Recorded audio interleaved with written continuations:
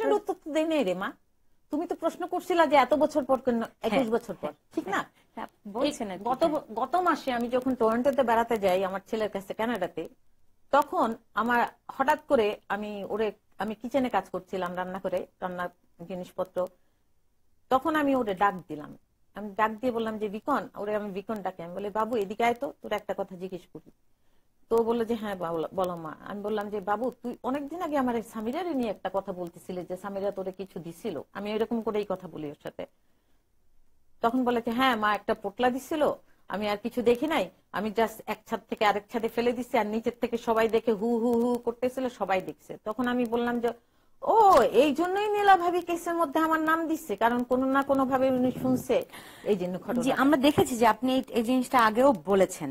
এখন এত আপনি যেটা এমনও বলেছেন যে আপনার ছেলের সঙ্গে ভিকির সঙ্গে আপনি এই হত্যাকাণ্ড বা যেটাই হোক না কেন এই মৃত্যু রহস্য নিয়ে কোনো কখনো আলাপ করেননি।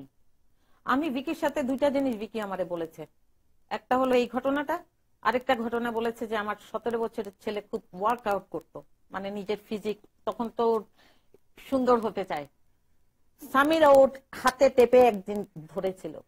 আর মেয়ে মানুষ হিসাবে আমি কিন্তু এই জিনিসটা খুবই লজ্জাজনক জিনিস যে তুমি একটা ছেলের গায়ে হাত দিয়ে তো ওর মাসেল পরীক্ষা করবা। এটার ইন্টেনশনটা কি? এটা মেয়ে মানুষ হিসেবে আমি বুঝি। এই জিনিসটা ও অনেক আগে বলেছে আমার আচ্ছা, আপনি মুখ খুললেন কেন হঠাৎ করে? এই একুশ বছর পরে বলেন এটা হ্যাঁ। কারণ সব ঘটনা মিলিয়ে আমি একটা জিনিস দেখেছি। ঘটনা তো আমি জানি অনেক কিছুই। ইমন ইমন আর সামিরা যখন স্কার্টেনি মুভ করে ওরা তো আমার ইমন সামিরা তো প্রায়ই আসতো আমার বাসায় গল্প করার জন্য বা বিউটি পার্লারে কিছু করার জন্য। আমার ছোট ভিজে গেছে। একটু পানি খাব যে? হ্যাঁ দিচ্ছি। আমি আপনার জন্য একটু পানি দিতে হবে। আমার গলা হ্যাঁ। শুকিয়ে হ্যাঁ, গেছে। আমরা আহ, পানির ব্যবস্থা করছি আপনার। সো আপনি ওই ঘটনাটা বলেন হ্যাঁ। তো সামিরা আসতো আপনার বাসায় সবসময়? আপনার পার্লারে আসতো? ইমন না থাকলে ইমন শুটিং এ থাকলে হ্যাঁ। ইমন ইমন থাকলে আসতো না। সরি আমি সালমান শাহ বলতে পারব না কারণ আমি ওর ইমন হিসাবেই না না ঠিক আছে হ্যাঁ। ইমন আসলে বলতো ইমন যে যখন বাসায় ফিরে আসতো তখন দারোয়ান খালেক এসে ওরে ডেকে নিয়ে যেত। দুইটা ঘটনা জানি আমি সামিরার জীবনে অনেক ঘটনা জানি। যেমন স্কার্টেনে মুভ করার পরে বেশিরভাগ ফোন কিন্তু ওর ওর ইমনের বাসায় ফোন ছিল না। নীলা ভাবিও যদি ফোন করতো, আমার বাসায় ফোন করতো। সামিরান মা লুসি ফোন করলেও আমার বাসায় ফোন করতো। তো এই ঘটনাগুলি আমি কিছু কিছু জানি ওদের সম্পর্ক নিয়ে, যে কীরকম সম্পর্ক ছিল। যেমন লুসি তো এই বিয়ে স্বীকার করেনি। তো স্বীকার না করে এগুলি আমি শুরু করতে